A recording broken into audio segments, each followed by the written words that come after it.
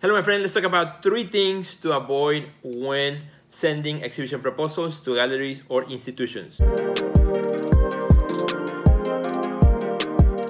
Well, hello, my friend. Welcome back to Breakfast with Sergio. Super happy to be here with you. Welcome to my breakfast table. On my plate today, two delicious crepes with some um, fruits, which are awesome.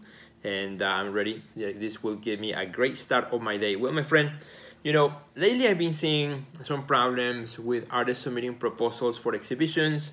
So I wanted to address that topic here on this breakfast with Sergio and give you like three things you should not do. This, this is not a three things that you should do, it's three things that you should not do, right? When sending an exhibition proposal to a gallery, a museum, an institution, right? Something that uh, I've been very passionate about, talking about proposals, helping artists write amazing proposals. Maybe you have taken my course, The Seven Steps to Creating a Killer Exhibition Proposal.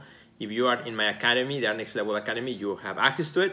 If not, if you want to check it out, it's also available in Udemy, udemy.com. But anyway, I want to talk about, again, three things to avoid. The first one, my friend, is when you write an exhibition proposal, right? And you're writing that awesome introduction letter that the person on the other side is going to see first before they look at your images, before they look at, you know, your uh, work and your ideas, this awesome show that you have, you know, the first thing is that letter of introduction. Pay a lot of attention to that letter.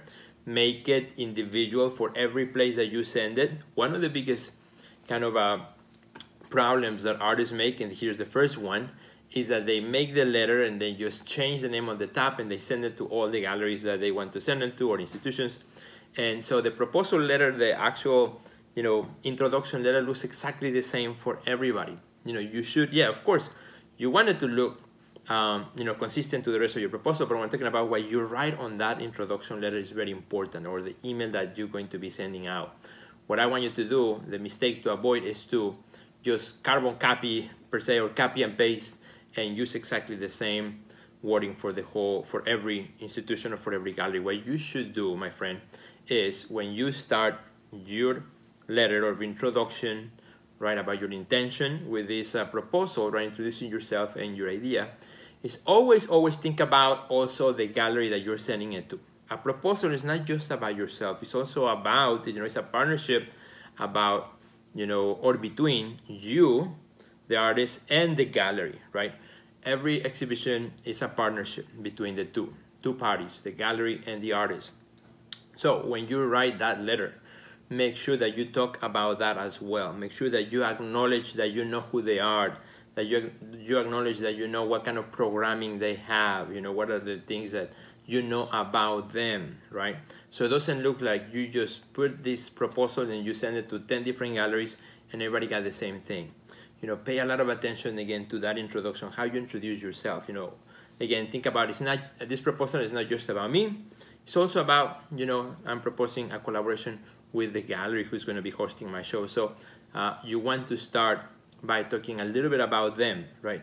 Make it about them, right, as well. And that's a great way, you know, to start your introduction because allows or lets the gallery or whoever is reviewing your proposal, the curators or the committee, lets them know, you know, that you are familiar with them and with, with what they are and what they do. And therefore, you know, you have put a lot of more thought about this as a possible uh, exhibition that would be great for who they are and what they do. So first uh, mistake to avoid. Second one, my friend, is to uh, don't send the uh, proposal through the appropriate channels. What do I mean by that? I get a lot of artists who send me, for example, to my Facebook messaging or to my Instagram uh, message. They send me a bunch of pictures or pictures of their proposal and they say, sir, you can have a show, uh, either for my gallery or for the art center where I curate here in Chicago. And the answer is always no, right? That's not a proper way to ask for a show. First of all, I don't even know who you are. Maybe we are friends in Facebook or on Instagram, but that's not that doesn't work that way, right? That's not a professional way. That's not the appropriate channel how to pursue, you know, an exhibition right? What you do, what you're doing if you're doing that is just getting, um, you know, kind of the other person say, well, but wait a minute, you know, um, that's not a proper way to ask. So, you know, you want to always find out if you want to send a proposal to somebody, you always want to find out, you know, what is the best way to send your proposal so it arrives to the uh, right hands who are going to see that proposal. And that's when you ask, right? So instead of just sending automatically a bunch of pictures or your proposal as an attachment, you know, right off the gate, you, can ask, hey, I've been following, again, just like the same advice I gave you earlier.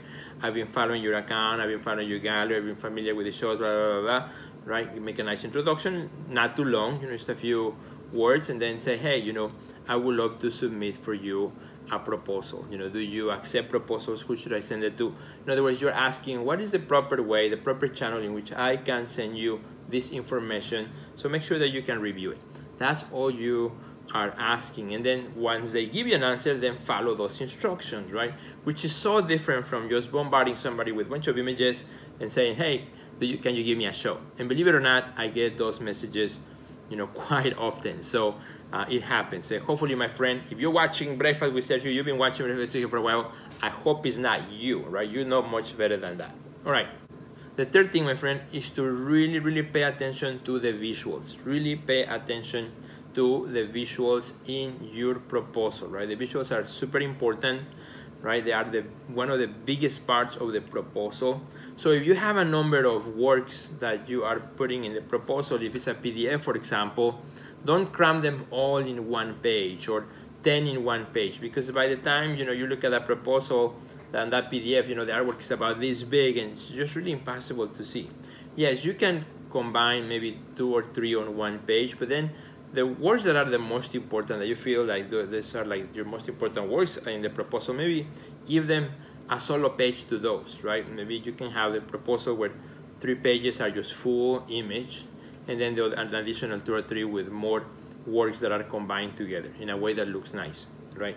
The whole the idea of the proposal is not to display your amazing uh, graphic design skills. It's about the art. So the more simple, the better, right? Stay away from background colors that are, you know pull too much attention, textures.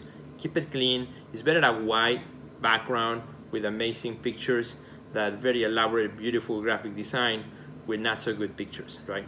Um, or that are stealing away from your pictures. So keep it clean, keep it very simple, and that's going to help you to get better results when you're sending those proposals out to other people. So my friend, again, I hope this Breakfast with Sergio episode kind of helps you as you begin the year 2020 and maybe some of you are preparing proposals this year and so on. Again, check out my course, Seven Steps to Creating a Killer Exhibition Proposal.